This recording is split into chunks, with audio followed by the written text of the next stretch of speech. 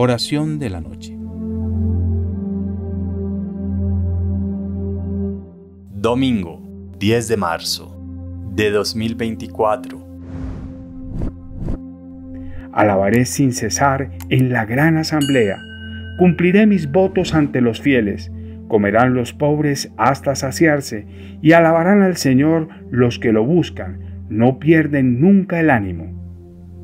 Nosotros os agradecemos, oh Madre del Buen Consejo, por todas las gracias y favores concedidos en este día de lucha.